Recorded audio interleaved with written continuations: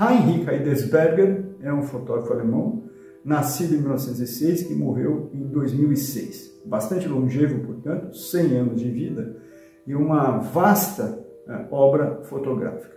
Uh, de sua fotografia, eu quero destacar dois elementos. O primeiro deles é o registro que ele faz, o que fez, uh, da arquitetura moderna, modernista, pós Segunda Guerra Mundial. Com relação a esse aspecto, algumas coisas me chamam muita atenção.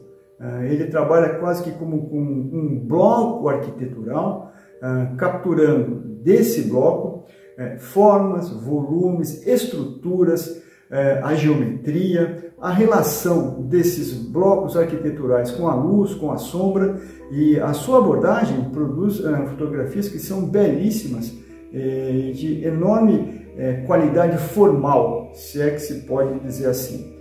Segundo elemento que me chama muitíssima atenção, é, ele produziu, ele inventou uma técnica, um dispositivo para fazer valer essa técnica que se chama ritmograma.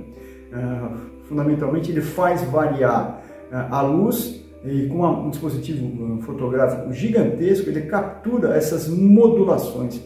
Eu diria, portanto, que ele aproxima, de certa forma, uma imagem de síntese ah, uma imagem que a gente poderia pensar como algorítmica ah, e que demonstra, a rigor, as virtudes técnicas que esse fotógrafo tem.